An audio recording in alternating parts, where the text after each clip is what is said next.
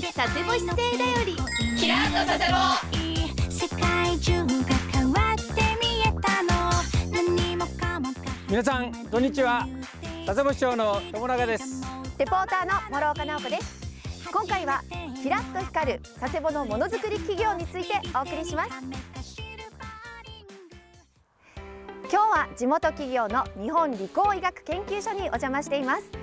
市長佐世保のものづくりといえば造船のイメージがありますが今その他の分野でもいろんな企業が活躍しているんですよね。そうなんです。市内には独自の発想や技術を生かしたものづくりに取り組み全国に販路を広げている企業がたくさんあります。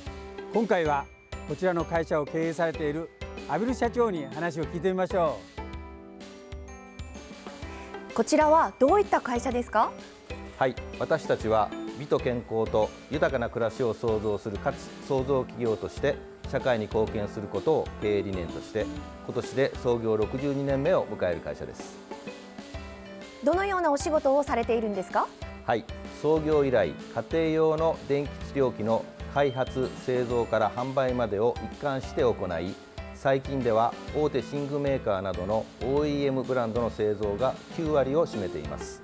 また治療器の技術を生かしてエステサロン向けの美容器の開発製造も行っております。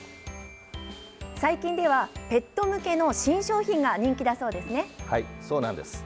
ペットは今や家族の一員とも言われていますが一方で匂いや健康面などが悩みの種となっています。そこでペットとの暮らしを快適にしたいというお客様のニーズに応えるため医療美容に次ぐ第三の柱として新たに動物用機器の開発にも挑戦することにしました。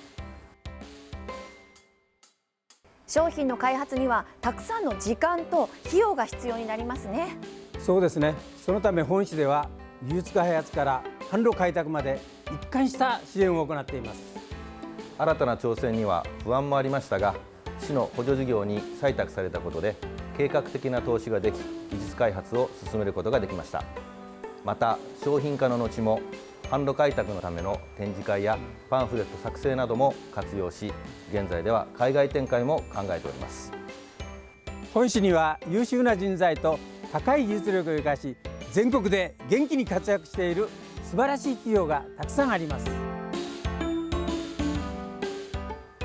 本市では関係機関と連携をしながら企業の新製品開発や国内外での販路開拓などさまざまな支援を行い力強い産業づくりを目指していきます。佐世保の経済活性化に向けて皆さん一緒に頑張っていきましょう。今月の佐世保門野球日本代表侍ジャパンコーチ村田義則さんです。そうですね。もう本当ただひたすら野球が好きで楽しくやってたことを本当に思い出した感じですね、はい、でももう野球というかスポーツに限らず勉強も一緒ですよね。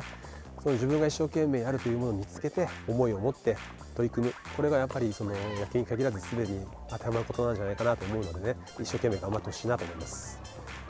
夢をつかもう。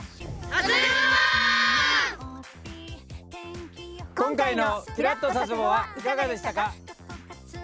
番組の感想を送っていただいた方の中から高級白身魚干物百花繚乱を抽選で2名様に差し上げます。番組へのご感想などをハガキか E メールに書いてご覧の宛先までご応募ください。またこの番組をもう一度ご覧になりたい方はキラッと佐世保で検索してください。お待ちしてます。